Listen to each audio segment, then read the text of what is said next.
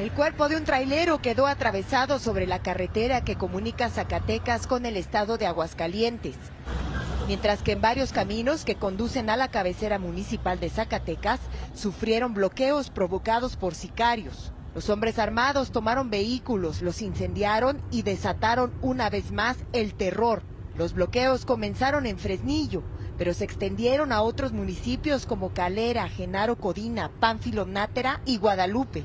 La violencia fue una reacción a la captura de varios narcotraficantes de la región. Así lo informaron las autoridades, pero no dieron más detalles.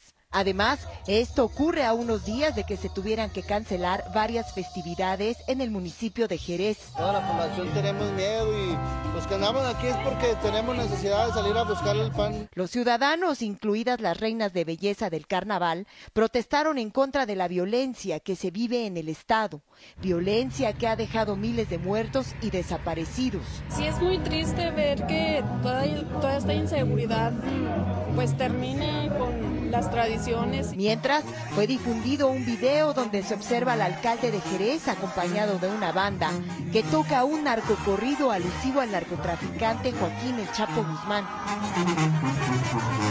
Pero él lo negó. Los titulares que hoy leo dicen, Arde Jerez, que el alcalde canta narcocorridos. Nada más lejos de la realidad. La grabación se difunde, que se difunde es de un año. Desde hace meses el terror se apoderó de Zacatecas. Balaceras, muertos y desaparecidos han secuestrado la paz de sus habitantes, sin que nadie ponga un alto a los delincuentes. En México, Isa Osorio, Noticias Telemundo.